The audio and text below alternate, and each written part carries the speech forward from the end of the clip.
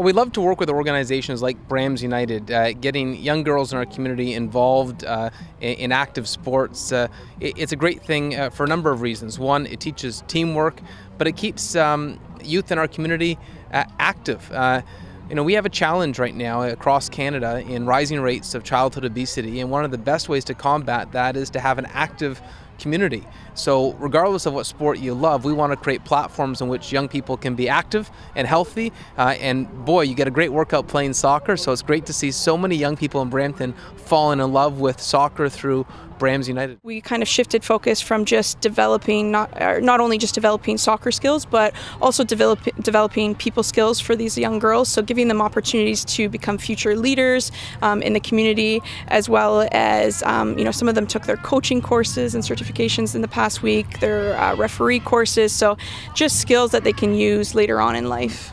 Brams plays a, a crucial role in Peel Halton. They're the only girls only club that we have. Peel Halton is one of 21 districts in the province of Ontario. We are the largest district in North America with uh, a little under 70,000 registered players this year.